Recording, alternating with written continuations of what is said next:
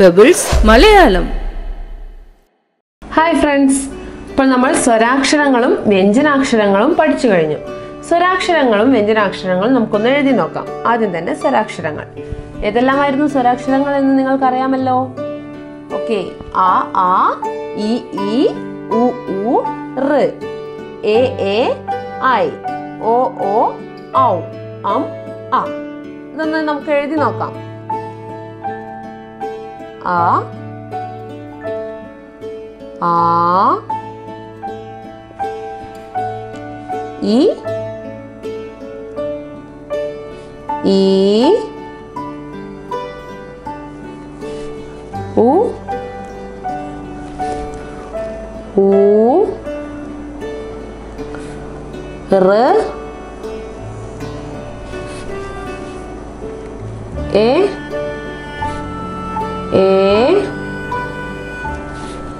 I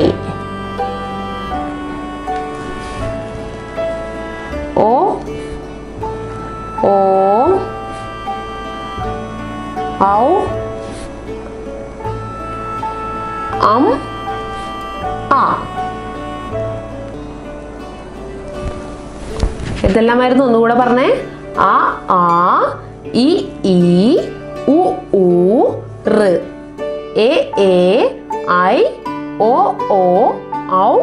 അം ആ. എല്ലാവരും പഠിച്ചല്ലോ. അടുത്തതായി നമുക്ക് നമ്മൾ പഠിച്ചിരിക്കുന്നത് വ്യഞ്ജനാക്ഷരങ്ങളാണ്. അതും കൂടെ നമുക്കൊന്ന് എഴുതി നോക്കാം.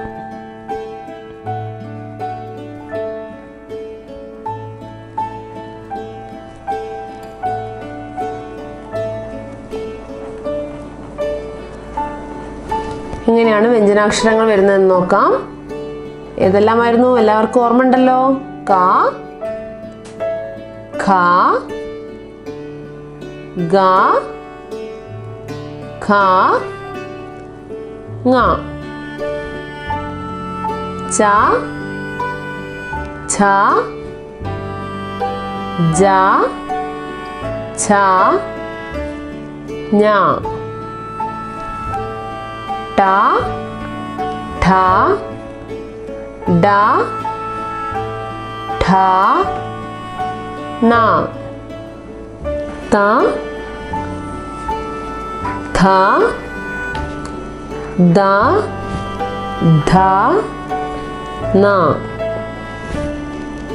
पा फा बा भा मा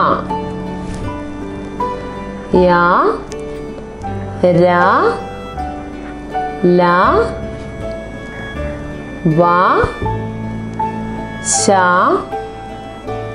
ഷ സ ഹ ള ഴ റ. ഇത്രയാണ് സ്വരാക്ഷരങ്ങളും വ്യഞ്ജനാക്ഷരങ്ങളും.